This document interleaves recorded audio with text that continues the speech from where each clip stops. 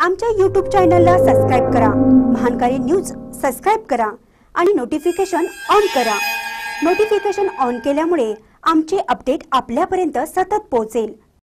जयसिंगपूर मधील पानपोई पडल्या कोरड्या तहानलेल्या नागरिकांची सेवा की केवळ दिखावा? शिरोळ तालुक्यातील जयसिंगपूर शहरात विविध पक्ष संघटनांच्या वतीने पानपोई सुरू करण्यात आल्या. मात्र सध्या त्यात पाणीच भरले जात नाही. त्यामुळे कोरड्या पडल्या आहेत.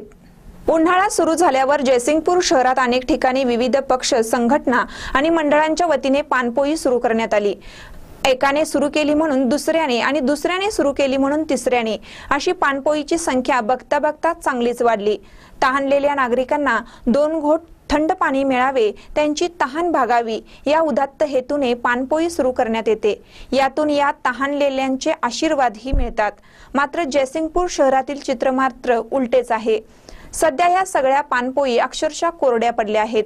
कारण यामध्ये पाणीच भरण्यात येत नाही. उदात्त हेतूने सुरू केलेलं काम की केवळ दिखाव्याचं नाटक होतं अशी चर्चा सध्या शहरात सुरू आहे.